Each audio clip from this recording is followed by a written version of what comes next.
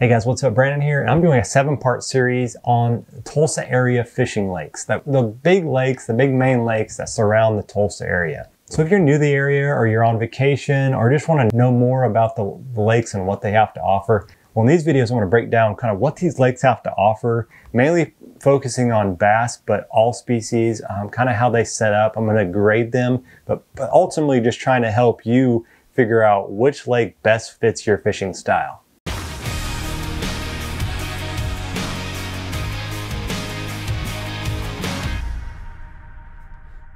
Okay, Grand Lake. It is a 47,000 acre lake and is located just northeast of Tulsa. Um, it's the third biggest lake of this in the state behind Eufaula and Texoma.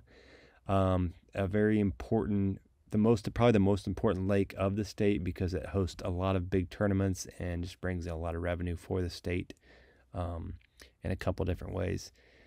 Um, it and it is the first uh, lake in the chain on the Neosho. So, you, like I you've seen in the last video, the Gibson. It uh, there's Grand here, which goes into Hudson, which goes down into Gibson, which is the last lake in the chain.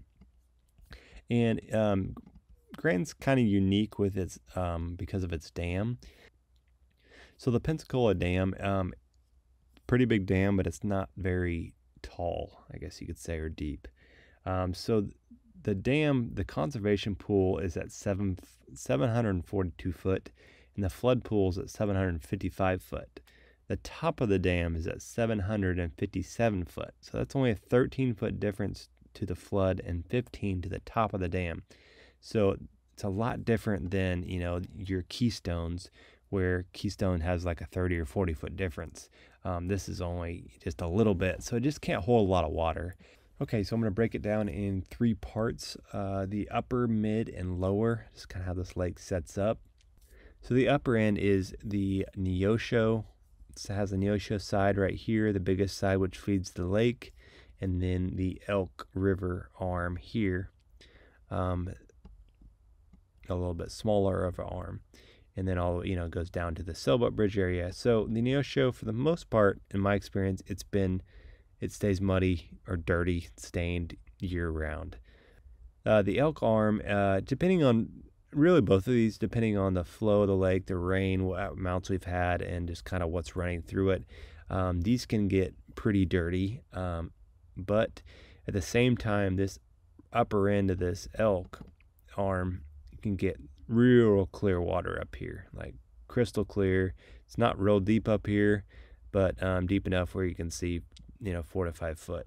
So the mid lake, um, so you know that's sailboat down to a little bit west of Horse Creek, which this is Horse Creek. Horse Creek and Honey Creek over here are two popular creeks. This whole mid lake section is. I feel like the the most winning bags come out of this area, just in my opinion. I feel like it holds the most fishable water because it's always a good mix of water. It's not too clear, it's not too dirty, just holds good water. And really, a lot of times, if it gets real muddy, um, because of how these both of these creeks set up, this Horse and um, Honey Creek, um, with the the river channel flowing through, um, they're kind of protected from that real dirty water. So they sometimes they stay a lot cleaner because they're off the main. Um, nothing's really pushing into them like some of the other creeks.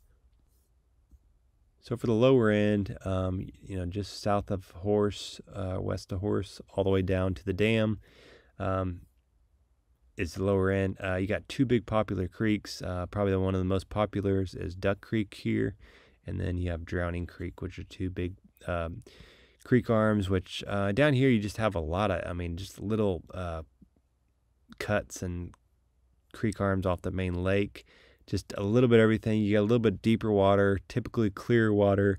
You do have a lot more boat traffic down here, like recreational traffic, which uh, can make sometimes fishing throughout the day a little tough, depending on what you're trying to do. Okay, so species on this lake you have largemouth, spotted bass, catfish, crappie, walleye, which I've never seen a walleye. I've never caught a walleye in this lake. White bass, hybrid bass, and paddlefish. Um, Obviously, largemouth. Uh, this lake is full of five pound largemouth, uh, four and five pounders. It's just ridiculous how many of that size fish are in this lake.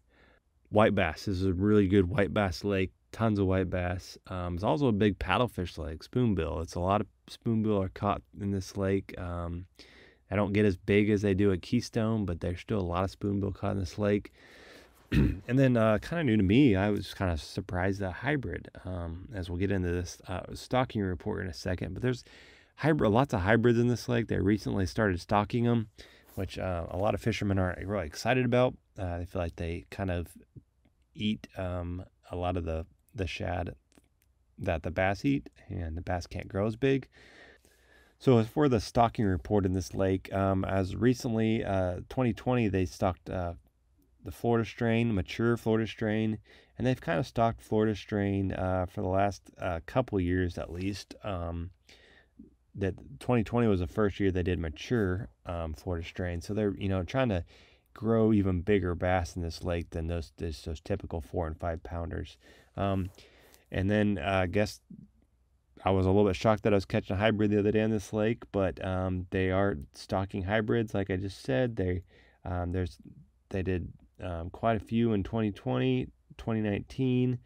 Uh, they did a million in 2018 uh, fry. Um, 2017 they did threadfin as well as hybrids, um, which is pretty neat. There's I feel like there's a ton of shad in this lake, so I guess they thought they were a little bit short, so that even more. Then in 2015, they stocked uh, about 2,000 paddlefish. Okay, so I, for tournament data, I tried to pull uh, three um, comparisons, which would be like uh, early season, kind of mid, and then late. So the first one I pulled was in March. Um, and we got uh, you know first place finish with 20 pounds, a little 20 pounds, and then all the way down the 10th was a little over 14 pounds. So pretty good bags there. Um, moving on to uh, a, a, June tournament, we had a winning weight of 20 pounds, and then the 10th place was at uh, 17, a little over 17, almost 18. So um, pretty good in June.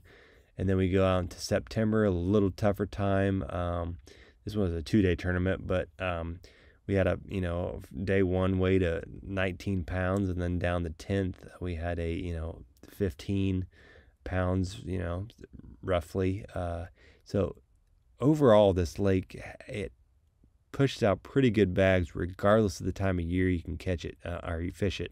Um, usually there's guys that can fish this lake and they can catch them regardless of the time time of year. So um, but overall just pretty good bags throughout the year. Okay, so areas to fish. Um, real quick, and like I said, this lake holds a ton of four and five pounders, um, which makes it a really great lake to fish. But it also can be really tough fishing because of the amount of pressure it gets on this lake. So don't think you can just show up and kind of catch fish. And I feel like five to ten years ago, you could you caught a lot of little ones, and just regardless of when you went, you could catch, you know, ten fish easily and I feel like it's it's sometimes you you go you get nothing at all, and sometimes you catch really good ones. It's it's just kind of it's it's hit or miss, at least in my opinion, um, over the last several years. But um, some spots to try, uh, you know, depending on where you want to fish at. This lake's obviously huge, tons of areas to fish. I haven't hit them all, um, but if you're if you're like like to flip, like I said, um, or fishing dirty water, uh, I suggest getting up and trying this Elk River uh, arm. Um, there's a lot of areas to flip up there. There's going to be a lot less pressure, boat traffic. Um, you can find kind of find keep some areas to yourself. Um, I don't fish the Neosho side as much just because I just uh, it doesn't offer that much to me. Um, if you just kind of zoom in here, you kind of have to get up the river a little bit before you really get into uh, much at all. there's a couple creek arms here that I've fished in the past, uh, but just not a lot. Uh, I feel like uh, the elk is, even though it's smaller, it has a little bit more um, areas that I'm set up a little bit better for what I like to do. Um, you know, down here, really, uh, there's a, there's a ton. You know, you got this big channel swing area right here that swings right against these creeks, which um, is going to make these areas really good for fishing. Um, you know, you got your good shallow banks right off the main lake. So that's a good area. Wolf Creek's popular area. Obviously, they release a lot of fish out of that area, so you know there's fish in there. Um, I don't fish this section a whole lot just because it's kind of wide open. Um, there are some little creeks off. You know, like obviously stuff like this with his channel swings. With there's going to be a lot of uh, fish in that area. Just it just sets up well. Um, moving on down, uh, Honey Creek, like I said before, it's a it's a good area. Uh, lots of pressure. If you're in a tournament, there's lots of lots of pressure in this area though. And it's good reason. There's a lot of fish here. It's a lot of good fishable water, a lot of good docks, a lot of good channel swing banks, um, some obvious stuff. You got a good pinch point with the, the bridge here. Um, but just so you know, there's there's a lot of pressure if you're gonna fish this this area just because it's it's not real big, but it just sets up well because it's getting that mid lake area, popular area. Um, and then as you move on down the lake, like I said, Horse Creek area. Um, if you just kind of zoom in here, you can see how how kind of flat it is, how far these uh, contour, these shallow points come way out on this lake, way over here, come way out you know.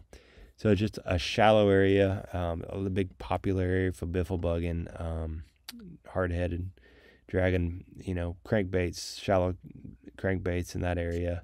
Um, and then, you know, it's just a good area too because it's got this channel swing that pushes a lot of fresh water through this whole area. Um, and it's just a popular creek. Um, also, a lot of these, uh, off these main lakes, these little arms are real good too um, in this mid lake area. And as you go down the lake, I probably fish this lake or the the lower end the least, just because of the boat traffic, and um, I just don't know as well. I stay kind of in the mid lakes area, but I do like this Drowning Creek. I feel like it sets up better for offshore, um, and just because there's deeper water here, um, there's it's not as flat as like a Horse Creek. Um, same with duck, uh, it's not as flat. Um, so just a lot of more um, steeper transitions, uh, and you're getting that cleaner water down here. There's just a lot, a lot of fishable water on this lake. It all looks good. Um, you just kind of the biggest thing I see, and guys, they they they, they want to run so many spots because it looks so good. They have so many things marked on their map, but you you got to be careful because you can get caught on this lake running around and not actually fishing much. So, uh, my advice was is pick a creek that looks good to you on the map, or if you you know uh, Google Map study and stick with it. I mean, you could turn Horse Creek into its own little lake, or uh, you know, the Honey Creek in its own little lake, and stay in there and really fish fish it out and uh, keep your line in the water as much as possible overall, I give this lake a, a, a grade. I mean, it's it's there is a reason why they have as many tournaments as they do on this lake. Um, it it's just a really great lake for catching big fish. You always have the opportunity of catching a, a lot of good quality fish, and it doesn't lack for quality. All right, guys, so the whole goal of this is to help you catch more fish. And if you're watching this and you have more insight or something else you can add, you fished this lake before, please leave that comment below so we can help as many anglers out as we can. Thanks for watching. I'll catch you on the next one.